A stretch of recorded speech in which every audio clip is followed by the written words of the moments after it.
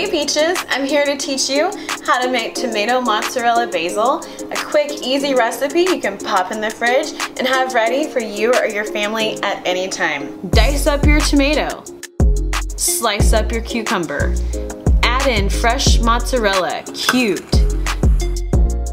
Add salt, pepper, and garlic to taste. Fresh basil is best, but dried works in a pinch. Toss in olive oil, aged balsamic vinegar. Stir it up and cool in your fridge. Enjoy this tasty treat.